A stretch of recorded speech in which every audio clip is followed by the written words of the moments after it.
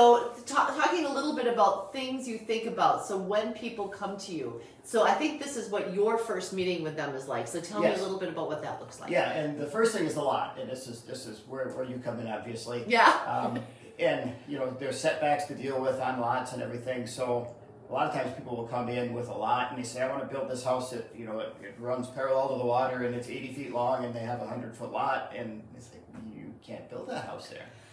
Um, so it's you know if you're if you're in the process of looking for a lot, it might be a good idea to have some idea what you want for a house just to make sure they're compatible.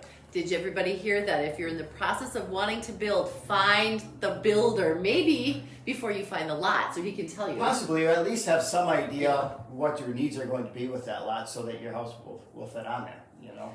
Yeah, we actually sometimes will put in our offers to purchase for vacant land. We'll give like a seven day window to get the builder on the property to make sure they can build what they want to build on the lot as a contingency in the offer to purchase. So I think that's super smart. Awesome. Yeah. Talking about prioriti- prioritizations for the lot, I would think it would be the same with waterfront or off water. Yeah, yeah. Um, you you know look at the things that you're going to need and make sure that lot is going to fill those needs. You know, water, you know, exposure, Mm-hmm. size of the lot. If you want some outbuildings and things, you know, just you know we so often we try to shoehorn this house into this lot, and I want this big garage, and then I want to be able to drive in, and you know, it just It does not. it fit. can be a little bit difficult. Mm-hmm. So if you're looking for a lot, now's the time to make sure. I mean, obviously, you're, you're limited in your lot selection too. Right. But I mean, now's the time to make sure you can get what fits your needs. Absolutely. When you're like, when you go to a lot and you see, um, do you get an idea if you think, okay, this part of this lot looks a little low or a little swampy, that this might not be ideal on this corner of the spot, but yet we have all of this room? Can you kind of get a gauge for that when you're out there? Yeah, like you can. septic that might be able to go in well, or or because I would think you probably walked enough land that you probably can get a Yeah. decent gauge, not hundred percent, but a pretty decent gauge. Yeah, and you can look at, um, you know, the, the like the DNR website and everything. If it's an actually designated wetland, you can't build in it. No touchy. At all. No. But if it's not designated wetland, it's just kind of low and marshy, then it's not as big a deal. We can at least get up to it and maybe even fill some of it if it's if it's not designated, you know. So there's some options there. Awesome. But that's another thing, I guess, if you're looking at a lot, if you have designated wetlands on it, you can't touch them. Well, and one of the things I find is a lot of people with the waterfront, especially, they want flat and level because as they age, they Mhm. don't want to have stairs. But the one thing we try to tell people is flat and level also means sometimes you get some lowlands.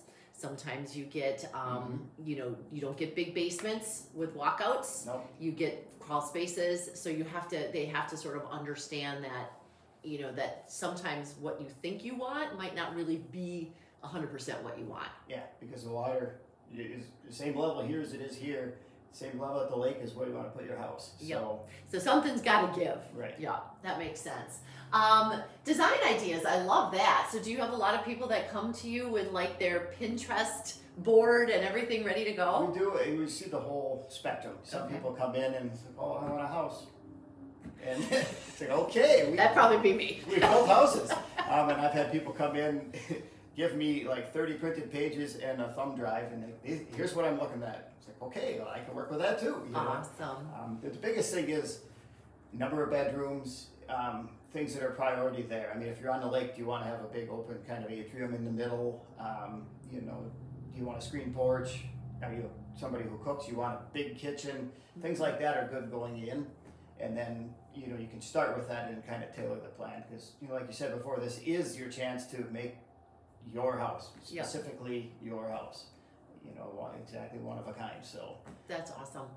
That's awesome. So I, I, I think that's interesting that they come to you with those ideas of what they want. And then when they're looking at that, at what point do you draw the plans? Do they, like, how does that Yeah, work? and that's another thing that's a, that's a variable. Sometimes you know we can draw the plan. Sometimes people will come in with a plan already, Oh, or they'll know someone if they've already been in contact, contact with someone, and then usually we'll you know, kind of bounce back and forth ideas and just share some guidance on what works, what doesn't, um, and they can get the plans drawn. But definitely, yeah, we, we do quite probably half the plans. Okay. And yeah, that's a that's a kind of a fun process too. To you know, you start with a blank slate with kind of their ideas, and you draw that up, and then you send it over, and then you go through a few iterations and you know refine it. I bet you that's a fun. That would It be is. fun to me. Like, oh, we can do this. That's awesome. Next to actually building, that's that my next favorite thing. I just tell my wife it's like a building video game. You get to draw it, and, you know, it's kind of enjoyable. I would think that would be fun. Plus, you're also getting people to realize what they've been dreaming of maybe for their entire life. Right, and then yeah, most people don't get to do.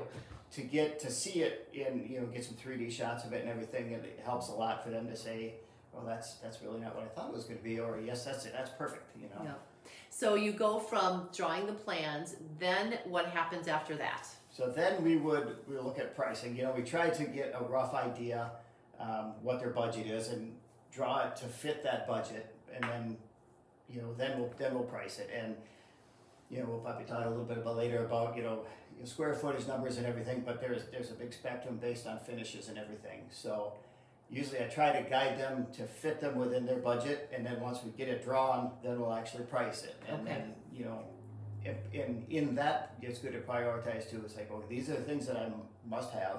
Mm-hmm. These are the things that I'd like to have. So if, if we get to that point and it's like, hey, we're, we're twenty thousand dollars over where we want to be, then we kind of know what things we can cut. And where, where you can make some save up some Yeah. of those dollars.